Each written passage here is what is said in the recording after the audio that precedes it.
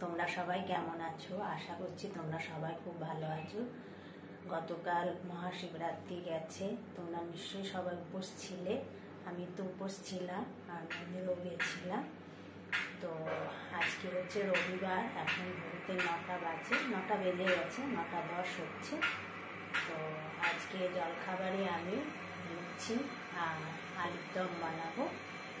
মাখা মাখা করে আলুর দম। আর লুচি বানাবো তো তার জন্য আমি কী কী মশলা নেব সেটাও তোমাদের দেখাবো। তার আগে আমি একটু চা খেয়ে নিই এইমাত্র স্নান করে পুজো সেরে উঠলাম।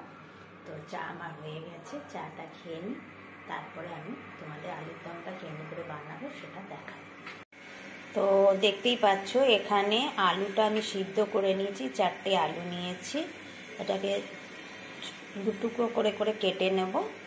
আর এখানে আছে মটরশুঁটি, জলে ভেজানো। আর এখানে পেঁয়াজ টমেটোর আদা আর একটু রসুন। আর দুটো কাঁচা লঙ্কা দিয়ে পেস্ট করে রেখেছি। তো এগুলোকে দিয়ে আমি আলুর দমটা করব। আর কিছু গুঁড়ো মশলাও নেব, সেটাও তোমাদের দেখিয়ে দেবো। তো এখন আমি তরকারিটা আরম্ভ করব। তো চলো আমি রান্নাটা স্টার্ট করছি। আমি গ্যাসটা অন করে দিয়েছি, কড়াই বসিয়ে দিয়েছি। এর মধ্যে আমি সর্ষের তেল ঢেলে দিচ্ছি। রান্নাটা আমি সর্ষের তেল দিয়েই করছি।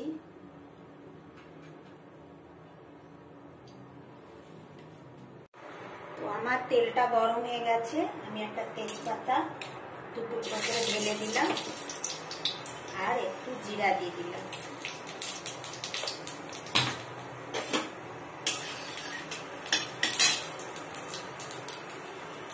এবার আমি এখানে যে মশলাটা এবার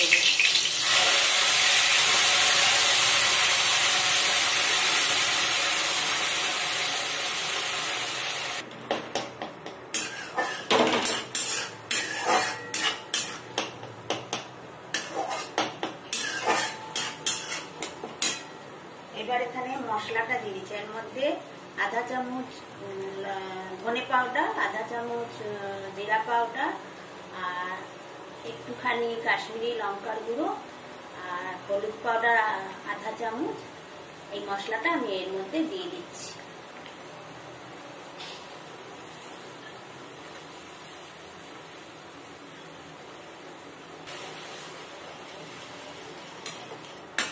এই এখন আমি মশলাটা ভালো করে মিক্স করে কষবো যতক্ষণ এর থেকে মশলার তেলটা ছাড়বে না, আর মশলাটা ভালো করে ভাজা হবে না, ততক্ষণ ভালো করে কষবো। পরিমাণ মতো নুন দিয়ে দিচ্ছি।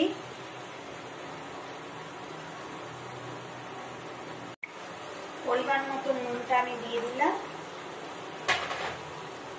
এবার ভালো করে মিশিয়ে নিচ্ছি মশলাটার সাথে, আর আঁচটা কমিয়ে ঢাকা দিয়ে ভালো করে ঢাকনাটা খুলে দেখি, মশলাটা কত কষা হলো।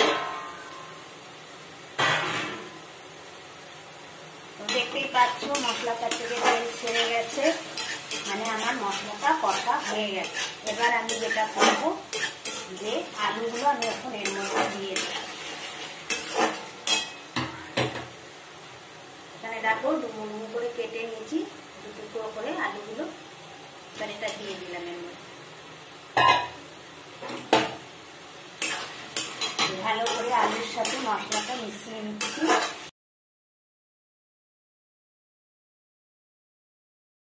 তারপরে মটরশুঁটিটা দিয়ে দেবো।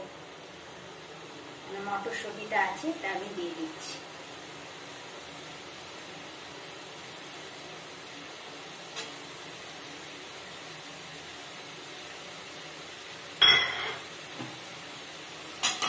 সমস্ত মশলার সাথে আলু আর মটরশুঁটিটা মিশিয়ে নিচ্ছি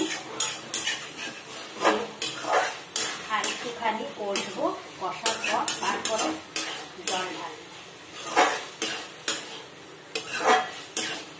ঢাকটা লাগিয়ে কষে নিচ্ছি ঢাকনা লাগিয়ে তারপরে সম্পূর্ণ রান্না হওয়ার পর তোমাদের আমি দেখাবো। তো দেখতেই পাচ্ছ, আমার আলুর দমটা তৈরি হয়ে গেছে। একটু রসা রসা করেছি, কেননা লুচি আর উপর থেকে একটু কাস্তুরি মেথি দিয়ে গার্নিশ করে দিয়েছি। তো আমি যখন আউটিংয়ে যাই, তখন এইভাবে আমি আলুর দম বানাই। কিন্তু আলুর দমটাকে একটু রোস্ট করে নিই, কেননা ট্রেনে যাব। তো ট্রেনেতে টিফিনের মধ্যে সব পড়ে যাবে, গায়ে লেগে যাবে, সেই জন্য আমি একটু শুকনো করেই বানিয়ে নিয়ে যাই। আর এইভাবেই বানিয়ে নিয়ে যাই কারণ আমার হাতে আলুর দম, আমার ছেলেমেয়েরা খেতে খুব ভালোবাসে। তো আমি এইভাবেই আমি আলুর দমটা করলাম। তো দেখো, তোমরাও এইভাবে বানাবে। রবিবার বা অন্য দিন কোনো ইয়েতে তোমরা বানাবে। দেখবে তোমাদেরও খুব ভালো লাগবে, তোমাদের ছেলে মেয়েদেরও খুব ভালো লাগবে। তো চলো, আমি এখন ঢাকনাটা লাগিয়ে দিচ্ছি। আর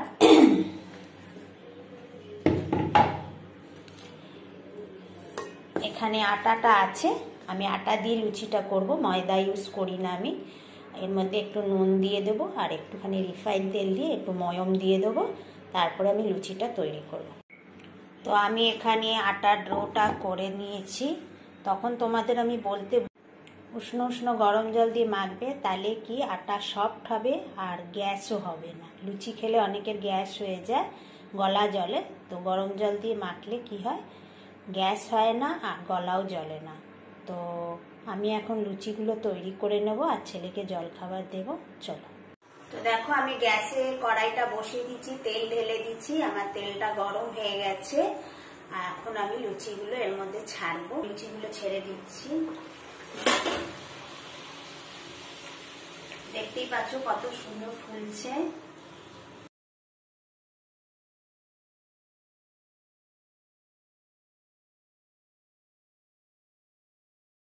তোমরা এইভাবে গরম জল দিয়ে যদি লুচি আটাটা মাখো, তাহলে দেখবে শক্ত হবে লুচিগুলো ভালো ফুলবে, আর তোমাদের শরীরের পক্ষেও ভালো থাকবে, গলা জ্বলবে না, গ্যাস হবে না। তো চলো, আমি সমস্ত লুচিগুলো এবার সবজি বানিয়ে নিচ্ছি, তারপরে তোমাদের দেখাবো আমার কেমনি হলো সব। তো দেখতেই পাচ্ছ, আমার লুচি আর তরকারিটা রেডি আমি ছেলেকে এখন জলখাবারটা দিয়ে দিচ্ছি। চলো, নাস্তা করার পর তোমাদের সঙ্গে দেখা করব। তো আমি চলে এলাম রান্নাঘরে। দেখো, আজকে আমি চিকেন বানাবো। তো এখানে আমি চিকেনটা দই দিয়ে ম্যারিনেট করে রেখেছি। হয়ে গেল। কুড়ি মিনিট ম্যারিনেট করে আমি রেখে দিয়েছি। ম্যারিনেট করে আগের থেকে রাখলে চিকেনটা নরম হয়, সফট হয়, আর বানা, বানানোটাও জলদি জলদি হয়ে যায়। আর যা, আর কি নিয়েছি সেটাও দেখিয়ে দিচ্ছি। এখানে দেখো, এটা পেঁয়াজ একটা কুচি করেছি, আর এখানে টমেটোর কুচি করে রেখেছি, আর এখানে আদা, রসুন আর লঙ্কার পেস্ট আছে, আর এখানে আর একটা পেঁয়াজ স্লাইস করে রেখে কেটেছি, এটার বেরস্তা বানাবো। তো চলো, আমি চিকেনটা চাল স্টার্ট করছি, তোমরা দেখো। আমি গ্যাসে প্যান বসিয়ে দিয়েছি, কড়াইয়ে প্যানে তেল আমি দিয়ে দিয়েছি, দেখতেই পাচ্ছ। তেলটা গরম হোক, তারপরে এক এক করে সব জিনিস দেব।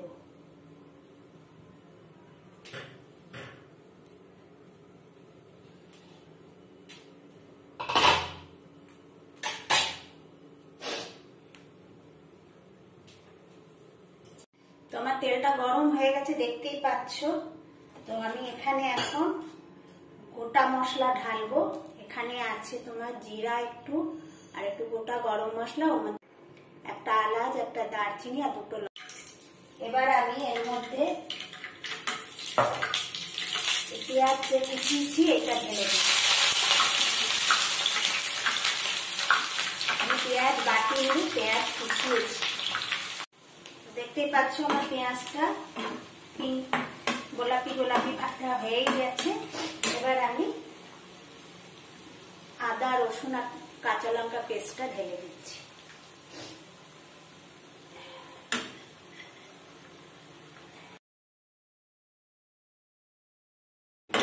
একটুখানি ভাজা হোক, তারপরে টমেটোটা ঢালবো এবার আমি টমেটোর কুচিটা ঢেলে দিচ্ছি। ভালো করে মিশিয়ে নেব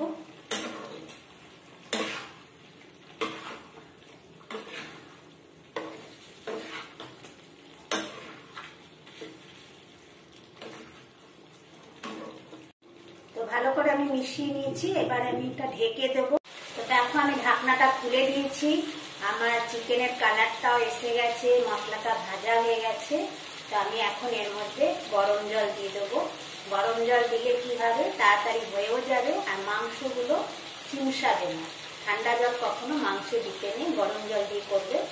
তো আমি এখন মশলাটা কষা হয়েই গেছে। এবার আমি এর মধ্যে গরম জলটা ঢেলে দিচ্ছি। আমি রান্না করতে করতে যে ছোট ছোট টিপসগুলো তোমাদের বলি, ওগুলো তোমরা ফলো করবে, দেখবে, তোমাদের খুব ভালো হবে। তো আমি গরম জলটা এখন ঢেলে দিচ্ছি। আন্দাজ মতন ঢাললাম, সিদ্ধ হওয়ার মতো। এটা ঢেকে দেবো, ভালো করে সিদ্ধ হয়ে যাক, তারপরে লাস্টে কেমনি হলো সেটা তোমাদের দেখা তো আমি ফাইনাল লুকটা দেখাচ্ছি। দেখো আমার চিকেনটা কত সুন্দর হয়েছে। তো তোমরাও এইভাবে বানাবে ঘরে খাওয়ার জন্য। তো চিকেনের অনেক রকমই রেসিপি হয়, সেটা আমি তোমাদের পরে আবার বানিয়ে দেখাবো। তোমরাও কমেন্ট করে আমাকে বলতে পারো কি রেসিপি তোমরা দেখতে চাও চিকেনে তো চলো, আমার রান্না কমপ্লিট এবার আমি ভাতটা বসিয়ে দিচ্ছি তাড়াতাড়ি করে, তারপরে আমরা খাওয়া দাওয়া করব। পরে আবার তোমাদের সাথে দেখা করছি। তো আমার খাওয়া দাওয়া হয়ে গেল, বাসন টাসন সব মেজে নিলাম। এখন আমি শুতে যাচ্ছি। তো এখন ঘড়িতে এগারোটা বাজে। তো আজকের ভিডিওটা আমি এখানেই শেষ করছি। তোমাদের যদি আমাদের, আমার ভিডিওটা আজকের ভালো লাগে, রান্নার রেসিপিটা যদি ভালো লাগে কমেন্ট করে নিশ্চয়ই জানাবে। আর বন্ধুদের সাথে ফ্যামিলিদের সাথে শেয়ার করবে আমার ভিডিও আর একটা লাইক করে দিও সাবস্ক্রাইব করো আমার যে নতুন বন্ধুরা যারা আছো তারা সাবস্ক্রাইব করো। তো চলো আজকে এই পর্যন্ত, কালকে আবার দেখা হবে। Tata good night